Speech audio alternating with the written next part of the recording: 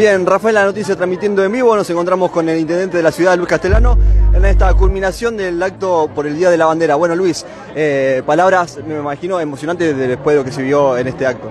Sí, la verdad que, muy lindo la jornada desde esta mañana temprano cuando fuimos a izar la bandera enfrente de la jefatura, nuestro símbolo central y hoy aquí en el barrio, en el barrio Amancay, en la Plaza de la Bandera, volviendo después de, de algunos años ¿no? que no podíamos hacer este acto tan lindo donde siempre se congrega tanta gente y que la pandemia nos había prohibido poder hacerlo así presencial como nos gusta a los rafaelinos, como nos gusta a nosotros, poder venir, disfrutar del espacio público, la feria, los este, bueno, cada uno de los grupos locales, Celina Estudillo, que va a seguir tocando con su grupo.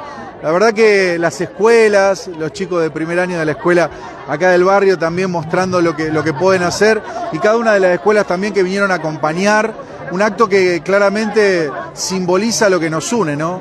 O sea, la bandera argentina simboliza por sobre, por sobre nuestra diferencia lo que nos une. Y ahí es donde nosotros tenemos que trabajar siempre y mucho, ¿no? En aquello que nos vincule, en aquello que pone a la ciudad, a, a la provincia al país por delante de nosotros. Luego, ahora, después de, del acto, se viene la feria. Otoño con vos, Rafael en acción, eh, me imagino también eh, un gran cierre. Sí, porque tuvimos un fin de semana largo, porque alguna gente pudo irse, pero la mayoría de los rafaelinos y rafaelinas se quedaron en la ciudad.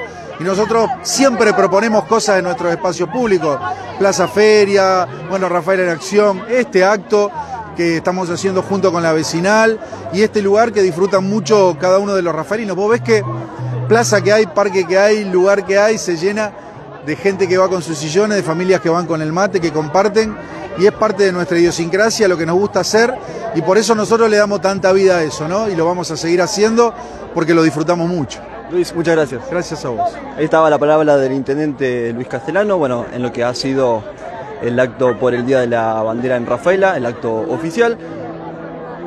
Y bueno, en unos eh, minutos ya arranca obviamente la feria, eh, están los eh, móviles de Rafaela en acción y también este, en el marco de Otoño con Vos, la última actividad de la estación del año. Rafaela, noticias transmitiendo en vivo.